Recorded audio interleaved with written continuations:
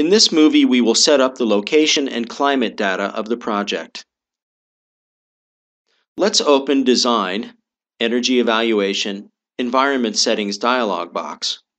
Or if the Energy Model Review palette is activated, click the Additional Data Input button at the top right corner of the palette and choose it from the pop-up. The appearing dialog contains several environment settings. Let's first click the Project Location button. This brings up the Project Location dialog box, which is also available from the File menu. Here we can set the name and address of the project. By clicking the Edit buttons, we can enter the Project Info dialog box and fill in the necessary information. Let's click the Cities button and select Oslo from the list.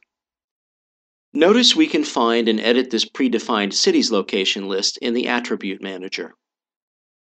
If we wish, we can fine-tune the coordinates of the exact place, or we can also import it from an XML file.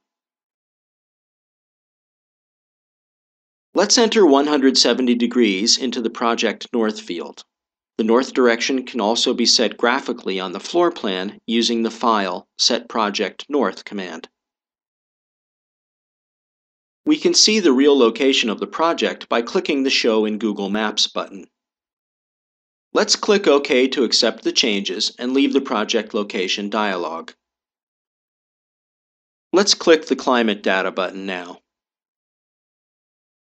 If you're online, ArchiCAD downloads the climate data from the Strusoft climate server automatically, but you can also download climate data files manually from other servers. If the climate data has loaded perfectly, a green check mark appears in the top of the dialog. Let's choose the marine climate type from the pop-up. If needed, we can also choose the Fahrenheit degree for data type, but for now let's keep Celsius. In the bottom of the dialog, various charts illustrate the climate fluctuation over the course of one year. We can choose the climate data type that we want to see in the chart, either air temperature, relative humidity, solar radiation, or wind speed. Below the graph, the maximum, minimum, and average values for the chosen climate data type are listed. We can choose the level of detail to view the chart by month, day, week, or hour.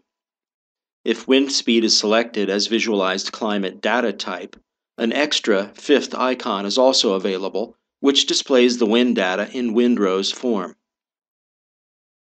Let's click OK to leave the dialog. ArchiCAD offers an easy location setup, helps to get climate information quickly, and present picturesque climate data charts.